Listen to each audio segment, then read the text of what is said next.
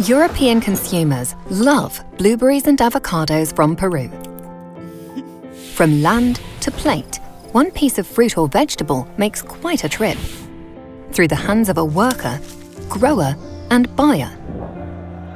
A supply chain where everybody contributes to the success of our product.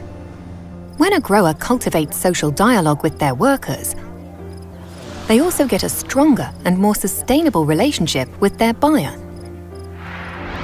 It is the key that unlocks a deeper understanding of each other's contribution in the supply chain.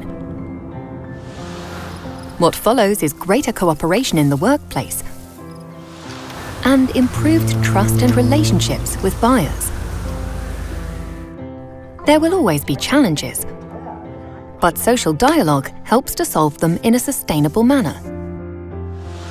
With the support of Mondiaal FNV and ETI, social dialogue practices have been established in Peru, with good results for both companies and workers.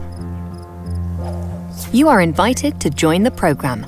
Visit our website for more information.